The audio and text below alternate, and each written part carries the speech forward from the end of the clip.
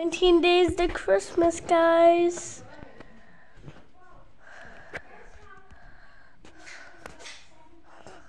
Guys, my next upload is going to be on Christmas. It's going to be a reaction of me up opening my Christmas presents. You guys hit that like and subscribe button. Yay!